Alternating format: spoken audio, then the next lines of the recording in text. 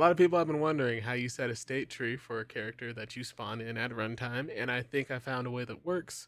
Now, this tutorial assumes you've already created your state trees and you're already trying to spawn them in, and you've just gotten stuck at that specific at that specific step. We're not going from 0 to 100 here. We're just addressing one specific issue. So let's get started. Now I'm in my character blueprint that I would be spawning in to the level. And what we need here is a mechanism for determining which state tree should be used. I'm going to use an enum, but you can use whatever you want to use. So I'm going to come into my content drawer, right click, blueprint, and hit enumeration. I'm just going to name this enemy types. And I'm going to open the enemy types file. And I'm just going to have three types of enemies. I'll just keep it simple name them type 1,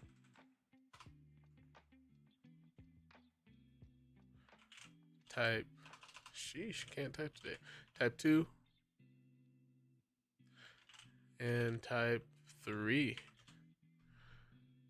And after that's done, we can close this file. We won't need it anymore.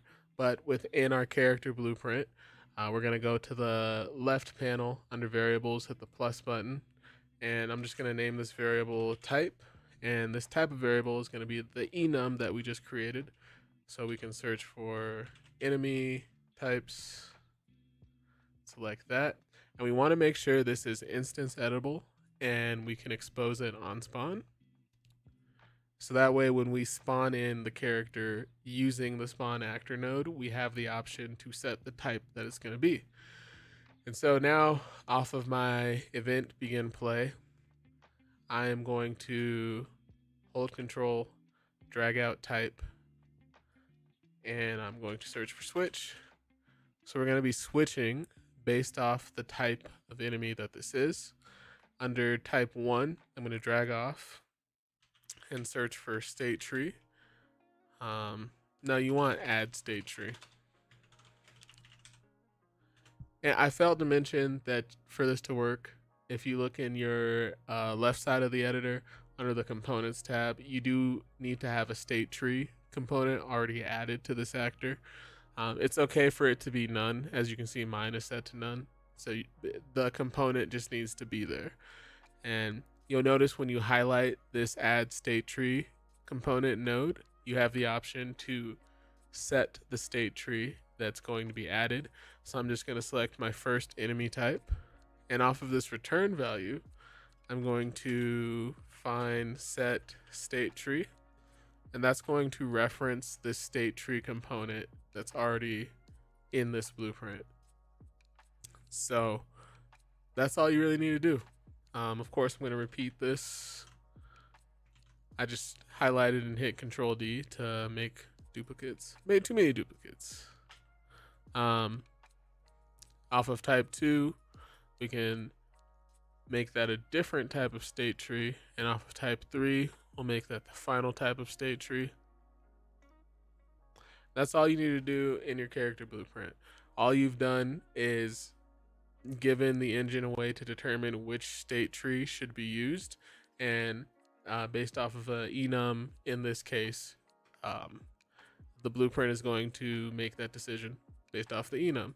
So that's simple enough. Uh, the last thing you need to do is wherever you're spawning these characters, whether that's your level blueprint or you actually have a, a spawn manager working in the background, uh, wherever you're calling the spawn actor node, spawn actor from class, you'll now notice that oh, first we got to compile the base enemy blueprint. You'll now notice that if you search for the class of your character blueprint, mine is called base enemy. You have the option to set the type, which references the enum, and so yeah, when this character gets spawned into the world, it'll look at that type variable and decide which state tree component should be added. So that's simple enough.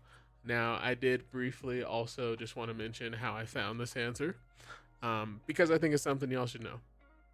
So since state trees are new, there's already not a ton of documentation out there on them.